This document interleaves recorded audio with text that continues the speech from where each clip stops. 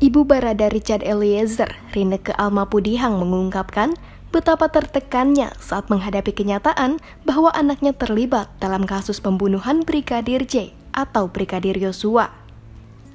Rineke bersama suaminya, Sunandak Yunus Lumiu, menangis bahkan saat sekilas melihat seragam yang biasa dikenakan oleh Richard.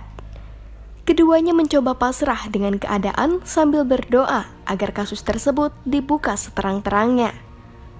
Namun, Rineke menyebut ia tidak ingin anaknya berbohong sedikit pun. Hal itu termasuk jika kebohongan tersebut bisa meringankan hukuman Richard.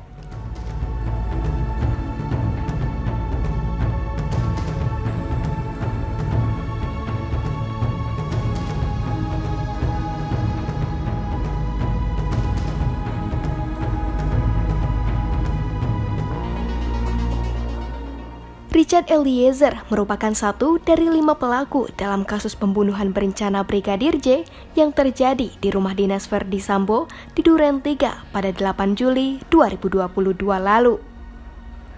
Dalam kasus ini, empat terdakwa lainnya adalah Verdi Sambo, Putri Chandrawati, Ricky Rizal, dan Kuat Ma'ruf.